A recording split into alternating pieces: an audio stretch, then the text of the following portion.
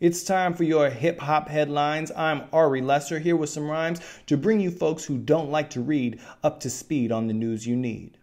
The CIA now says it's clear that the Russian government interfered with the recent American election in an effort to give Donald Trump the win. The president elect dismissed the CIA's claim as ridiculous, but senators around the nation are demanding more investigation.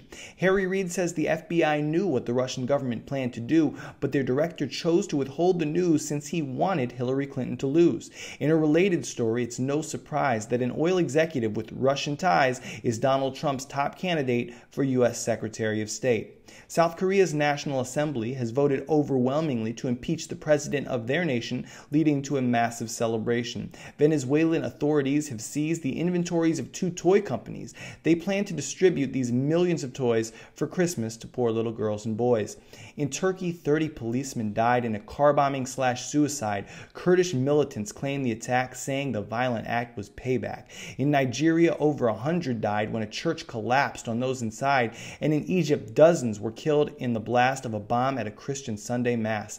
The Italian president picked a new prime minister to replace the one who resigned. According to Romanian exit polls, the left leaning party has taken control. Gambia's president announced his rejection of the result that he lost the election.